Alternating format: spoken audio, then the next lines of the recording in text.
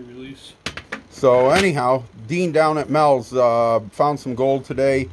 Tested most of it. Mel's got one piece left to test. Uh, so uh, we'll see what uh, he's going to test this to see if it's a diamond too.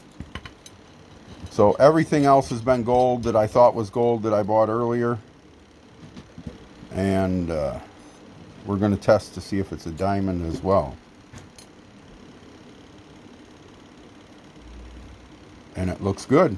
So you put the acid on it and if the uh, gold stays on the scratch stone, it's good.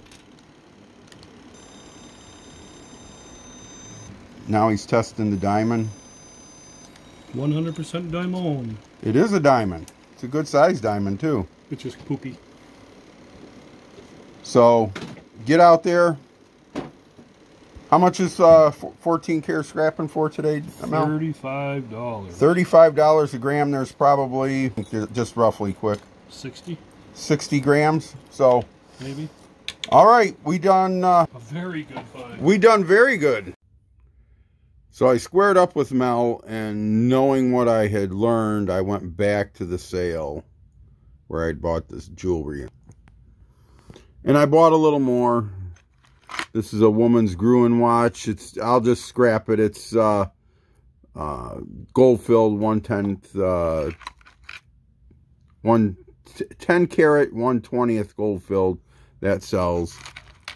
Got a uh, a real cameo. My wife collects them. So uh, that there will be a future present. Hopefully she doesn't see the video. And some other gold earrings and just tchotchkes. Uh, that's the uh, that's the diamond out of the ring. I got to clean it up and stuff. The uh, LED watch. I uh, put batteries in it and it works. 5.43 p.m. Thursday the 30th. 44 seconds. 47, 48. So that's cool.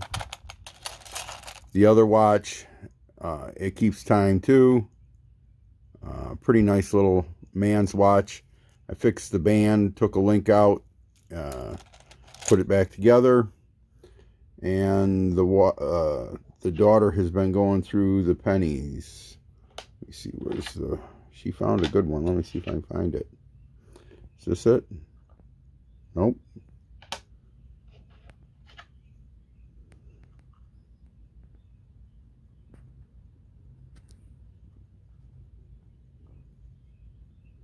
Don't know if you can see that, but it's a 1918S.